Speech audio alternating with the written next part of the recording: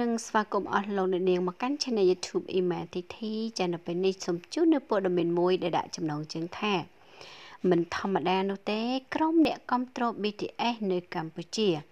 បានរៃអង្គាសប្រាក់បានជាង1000ដុល្លារសម្រាប់ចូលរួមការទិញវ៉ាក់សាំង COVID-19 ចាជាការពិតណាស់ប្រិមិត្តជាច្រើន គឺពិតជាបានជ្រាបហើយបន្ទាប់ពីចា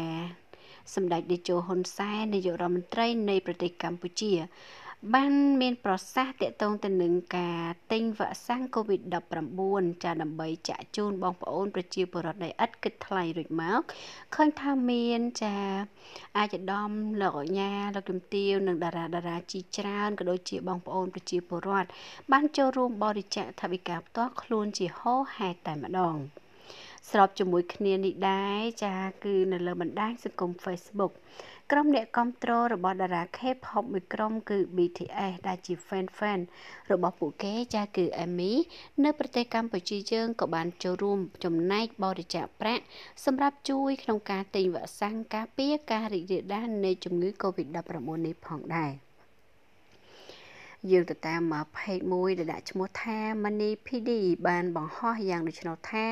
មូលនិធិ BTS HME Cambodia សម្រាប់បរិច្ចាគដល់ការទិញវ៉ាក់សាំង COVID-19 បានបញ្ចប់នៅថ្ងៃនេះជាស្ថាពរដែលពួកយើងទទួលបានថវិកាសរុបចំនួន1300ដុល្លារ ជាស្ដែងមូលនិធិសប្បុរសធម៌របស់ក្រុមអ្នកគ្រប់គ្រង BTS នៅក្នុងប្រទេសកម្ពុជាដែលមានឈ្មោះថា MEX Cambodia ដែលបានរួមគ្នារៃអង្គាសប្រាក់បានជាង1000ដុល្លារចាគឺ1300ដុល្លារអាមេរិកចំនួនថវិកាទាំងអស់នេះនឹងត្រូវបរិច្ចាគសម្រាប់ទិញវ៉ាក់សាំង COVID-19 នេះមិនមែនជាលើកទី1នោះទេដែលជារឿយៗពួកគេគឺបានចូលរួមចំណែកក្នុងសកម្មភាពសប្បុរសធម៌ក្នុងសង្គមជាហូរហែតាមរបៀបដែលក្រុមចម្រៀង BTS ធ្លាប់ធ្វើកន្លងមកហើយក៏មិនខុសពី Emmy នៅតាមបណ្ដាប្រទេសផ្សេងផ្សេងនោះឡើយក៏លេចមកមើល page ផ្លូវការរបស់សៃវិញគឺបានរៀបរាប់យ៉ាងដូច្នោះថាតាមរយៈ